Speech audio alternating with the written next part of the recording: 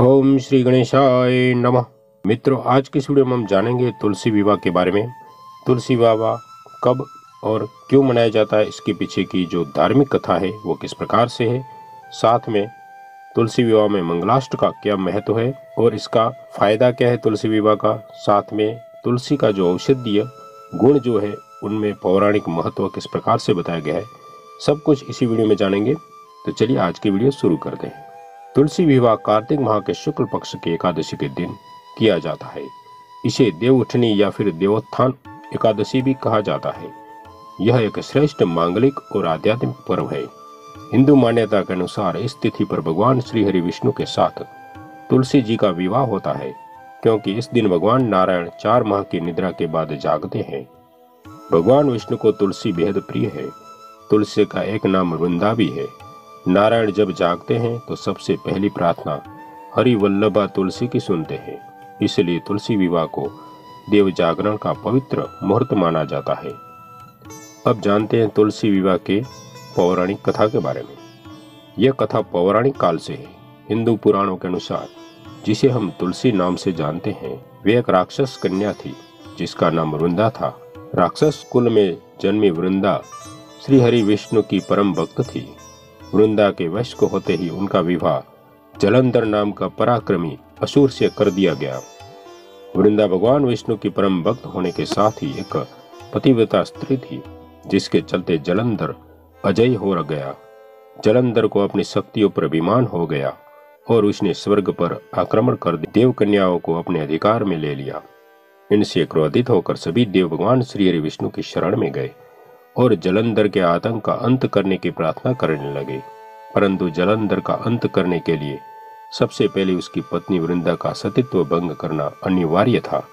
भगवान विष्णु ने अपनी माया से जलंधर का रूप धारण कर वृंदा के पतिव्रत धर्म को नष्ट कर दिया, जिनसे कारण जलंधर की शक्ति क्षीण हो गई और वह युद्ध में मारा गया।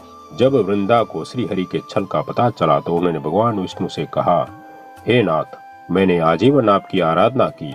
आपने मेरे साथ ऐसा कृत्य कैसे किया? इस प्रश्न का कोई उत्तर श्रीहरि के पास नहीं था। वे शांत खड़े सुनते रहे। जब वृंदा को अपने प्रश्न का उत्तर नहीं मिला तो उन्होंने भगवान विष्णु से कहा कि आपने मेरे साथ एक पाषाण की तरह व्यवहार किया है। आपको शाप देती हूँ कि आप पाषाण बन जाए।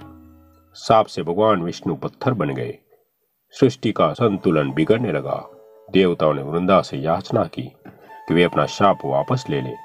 देवों की प्रार्थना को स्वीकार कर वृंदा ने अपना शाप वापस ले लिया, परंतु भगवान विष्णु वृंदा के साथ हुए छल के कारण लज्जित थे।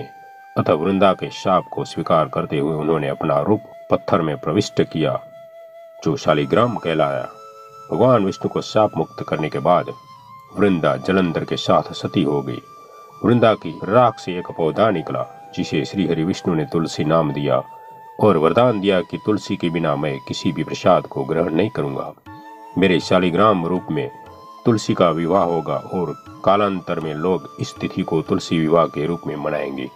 देवता ने वृंदा की मर्यादा और पतिव्रता को बनाए रखने के लिए भगवान विष्णु के शालिग्राम रूप का विवाह तुलसी के साथ कराया। इसी घटना के उपलक्ष्य में प्रति वर्ष कार्तिक शुक्ल एकादशी यानी देव प्रबोधिनी एकादशी के दिन तुलसी का विवाह शालिग्राम के साथ कराया जाता है। तुलसी विवाह में मंगलाष्ट का महत्व की अगर बात करें तो तुलसी विवाह हिंदू रीति रिवाजों के अनुसार संपन्न किया जाता है, जिसमें मंगलाष्ट के मंत्रों का उच्चार भी किया जाता है। भगवान शालिग्राम व तुलसी के विवाह की घोषणा के पश्चात मंगलाष्ट मंत्र बोले जाते हैं। मान्यता है कि इन मंत्रों से सभी शुभ शक्तियाँ वातावरण को शुद्ध, मंगलमय व सकारात्मक बनाती है। जिस घर में बेटी नहीं, उनके लिए बेहद फलदायक होता है तुलसी विवाह। तुलसी विवाह के लिए कार्तिक शुक्ल पक्षी एकादशी का दिन शुभ है। इस दिन भगवान शालिग्राम के साथ तुलसी जी का विवाह उत्सव मनाया जाता है। जिस घर में बेटियाँ नहीं है, वे दंपति तुलसी विवाह करके कन्यादान का पुण्य प्राप्त कर सकते हैं। विवाह आयोजन बिल्कुल वैसा ही होता है, जैसे हिंदू रीति रिवाज से सामान्य वर वधु का विवाह किया जाता है। अब जानते हैं तुलसी का औषधीय गुण, पौराणिक महत्व कैसे है? तुलसी स्वास्थ्य दृष्टि से बड़े ही काम की चीज़ है। चाय में तुलसी की दो पत्तियाँ, चाय का जायका बढ़ा देती है। साथ ही शरीर को ऊर्जावान और बीमारी से दूर रखने में भी सहायक करती है। इन्हीं गुणों के कारण आयुर्वेदिक देवताओं में तुलसी का उपयोग किया जाता है। तुलसी का केवल स्वास्थ्य के लिहाज से नहीं, बल्कि धार्मिक रूप से भी बहुत महत्व है। एक और तुलसी जहाँ भगवान विष्णु की प्रिया है तो वहीं भगवान श्री गणेश से उनका छत्तीस का आंकड़ा है। श्री गणेश की पूजा में किसी भी रूप में तुलसी का उपयोग वर्जित है। तो मित्रों, इस प्रकार से तुलसी विवाह का महत्व है। साथ में तुलसी विवाह के पीछे जो धार्मिक कथा है, वो भी हमने जानी। साथ में तुलसी का महत्व भी जाना। आशा करते हैं वीडियो आपको पसंद आई होगी। दोस्तों, ऐसी वीडियो और जानने के लिए हमारे चैनल को सब्सक्राइब ज़रूर कर दें। पास में बेल आइकन पर क्लिक भी कर दीजिए, ताकि आने वाली हमारी वीडियो को आप तुरंत देख सकें। तब तक के लिए जय श्री कृष्ण।